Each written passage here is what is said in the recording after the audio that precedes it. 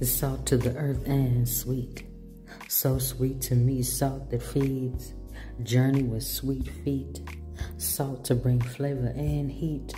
The two meet and we eat.